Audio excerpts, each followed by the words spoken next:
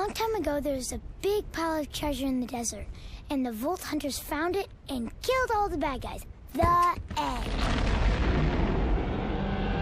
No, no, no, that's not how you start a story. I thought it was pretty good. And I think you're not getting fed this week. Now, this is how you start a story. Legends speak of Captain Blades, lost treasure of the sands, of a prize so great that men would turn the sands red in pursuit of it, of a pirate queen, courageous and deadly, who would stop at nothing to find it, of a monstrous leviathan, of the vault hunters who journeyed to the desert town of Oasis, not knowing the horrors that would befall them. See? That's how you do it. Mine was more succinct. Your life's gonna be succinct, you dirty little orphan.